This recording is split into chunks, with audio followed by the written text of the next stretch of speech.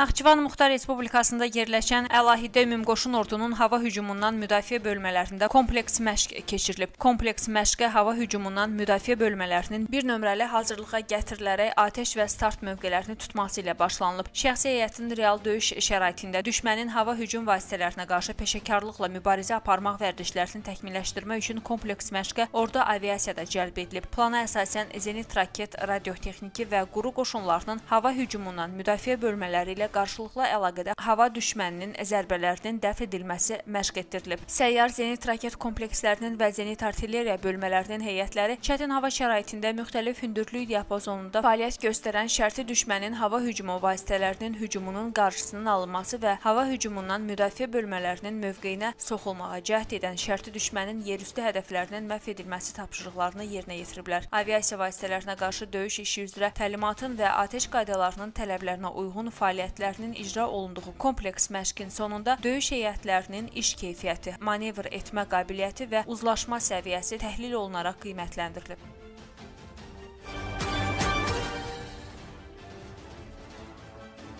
Ermənistan-Azərbaycan sərhədində baş verən son gərginlik zamanı erməni hərbi qulluqçularını qorxu və təşvişə salıb şəxsi heyət arasında çaxnaşma müşahidə olunub. Erməni hərbiçiləri özlərini itirib silah-sursatlarını ataraq qaçıblar. Ətraflı videonu təqdim edirik.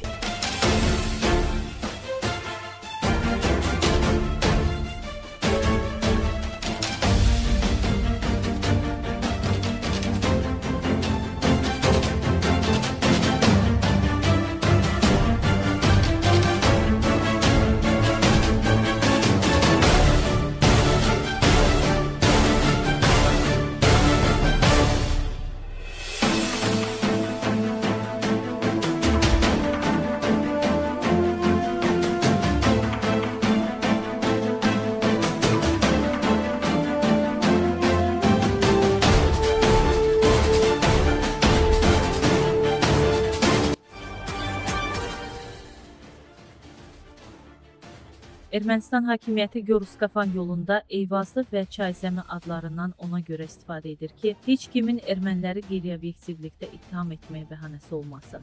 Konkret az xəbər verir ki, bu sözləri Ermənistan baş naziri Nikol Paşinyan deputat Mari Karapetyanın sualına cavabında deyib. O bildirib ki, Ermənistan və Azərbaycan arasında sərhəd müəyyən edilməsə də İrəvan SSR xəritələrinə rəhbər tutur və sözü gedən kəndlər Ermənistan SSR-in ərazisinə daxil deyil. Nəyəsə əsaslanmaq lazımdır. Əks halda sual oluna bilər ki, nə üçün son silahlı insidentdə Ermənistan tərəfi öz ərazisini qoruduğunu bildirir. Əgər bizdən soruşsalar, necə qərara gəldiniz ki, bu sizin ərazidir?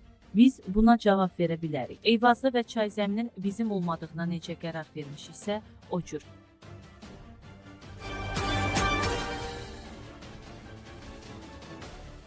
Mən çox istərdim ki, mövcud imkanlar araşdırılsın və bizim hərbi xərclərimiz biraz da artırılsın. Bunu təsadüfən söyləmirəm. Çünki Ermənistanla sərhəddə vəziyyət gərgindir, hərbi əməliyyatlar gedir. Bu baxımdan hesab edirəm ki, yüksək olan hərbi büdcəmizin biraz da artırılmasına ehtiyac var. Konkret az xəbər verir ki, bu fikirləri Milli Məclisin iclasında çıxışı zamanı millət vəkili Elman Nəsirov səsləndirib. Millət vəkili sərhədyanı rayonlara xüsusi diqqət ayrılmasının vacibliyinə diqqət çəkib. Cəlilabad rayonu İranla sərhəddə yerləşir. İranla sərhəd boyu kəndlərimizə və yaşayış məntəqələrimizə daha böyük diqqət və qayğı göstərməyə ehtiyac var. Bu gün Cəlilabadın Qarakazımlı, Məlikqasımlı, Təklə, Mikayılı və digər kəndlərini insanlar tərk edirlər. Onları həmin kəndlərdən heç kim köçürmür, özləri tərk edirlər. Cəlilabad, Bakı və digər şəhərlərə axın edirlər. İranla sərhəd kəndlərinin boşalmasına imkan vermək olmaz. Bu təkcə iqtisadi və demoqrafik məsələ deyil, həm də böyük siyasətdir. O kəndlərə xüsusi diqqət ayrılmalıdır. Millət vəkili əlavə edib ki, bir il öncə Borxanlı kəndinin işıq problemi ilə bağlı qaldırdığı məsələ öz həllini tapıb. İranla sərhəd kəndlərinin qaz problemi ilə bağlı Azərqaz qarşısında məsələ qaldırmışdım. Bu yaxınlarda əldə etdiyim məlumata görə Cəllabadın İnili, Məmmədcanlı və Cəfərli kəndlərinə qaz çəkilib. Digər kəndlərdə də bu istiqamətdə iş aparılır. Amma yollar çox bərbad vəziyyətdədir. Bakıdan Cəlilabada, rayondan isə həmin kəndlərə 2 saata gedib çıxmaq olur. Bu baxımdan çox istərdim ki, Təklə Bayxanlı, Təklə Məlikqasımlı kəndlərinin yenidən qurulmasına diqqət ayrılsın.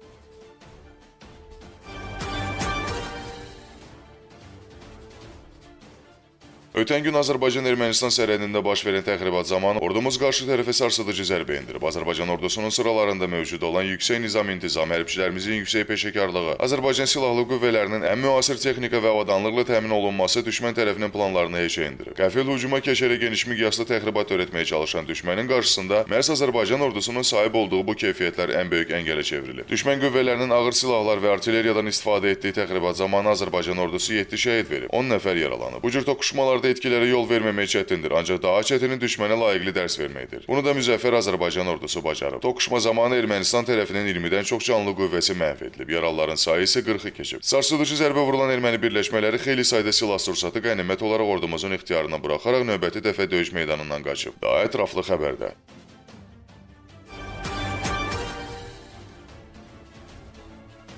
Bir neçə gündür ki, faşist Ermənistan öz tarixi ənənələrinə söykənərək vəhşiliklərini ortaya qoymaqdadılar.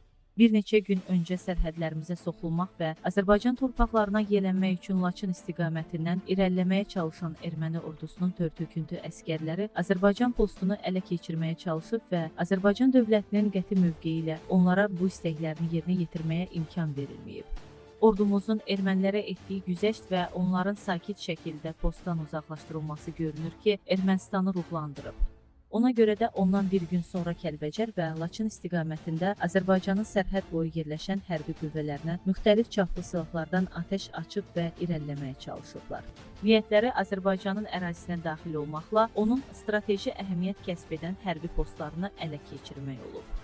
Əslində isə bu daha ciddi məqsədlərə xidmət edir konkret az xəbər verir ki, bunu moderator azı açıqlamasında millət vəkili Fəzail Ağamalı son erməni təxribatı haqqında danışarkən deyib.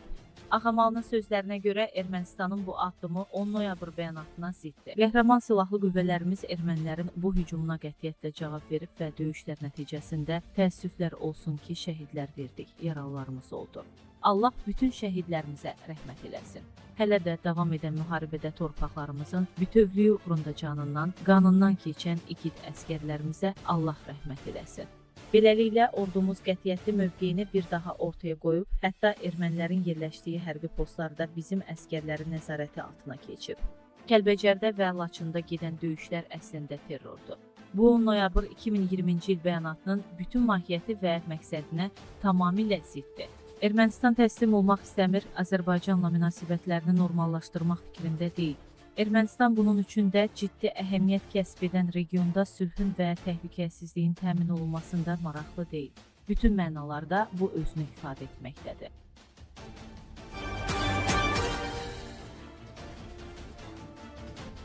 Rəsmi Moskva və Ankara S-400 zenit raket kompleksləri üçün detalların birgə istehsalının təfərrüatları barədə açıqlama verməmək üzrə razılığa gəlib. Bunu Türkiyə prezidenti Rəcəb Tayyip Ərdoğan İspaniyanın baş naziri Pedro Sancheslə Ankarada təşkil edilən birgə mətbuat konfransı zamanı bəyan edib. S-400 detallarının birgə istehsalı ilə bağlı təfərrüatlar barədə açıqlama verməməyə dair hər iki tərəf razılığa gəlib. Bu yalnız bizim aramızda olan həssas məsələdir, deyə dövlət başçısı jurnalistin kompleksə məxsus hansı detalların birgə istehsal ediləcəyi ilə bağlı sualını cavablandırarkən bildirib.